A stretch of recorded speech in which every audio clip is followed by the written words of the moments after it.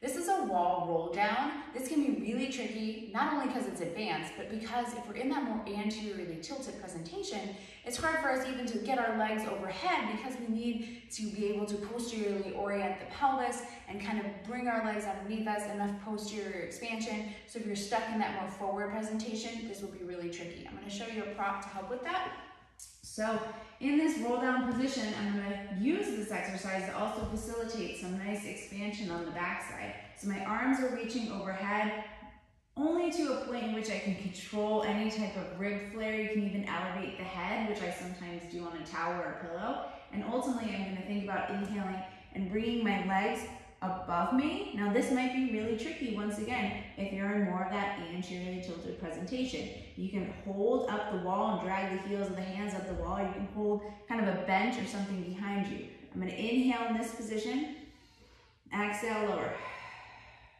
Inhale, exhale lower.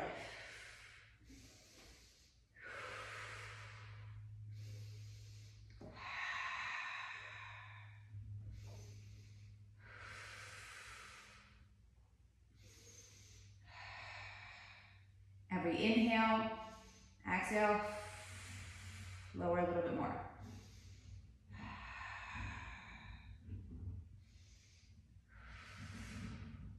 You can go this, do this for a number of breaths, and then you can even start again.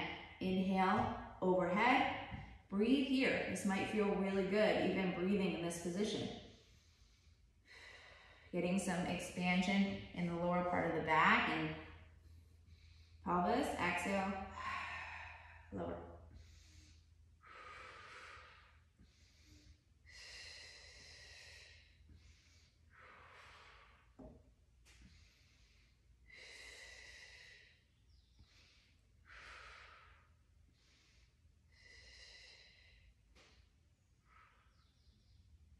Only taking the legs to a depth you can control. Once I kind of get beyond here, I can't help but want a rib flare. So that's, I'm losing that core connection at that point and that's where I stop.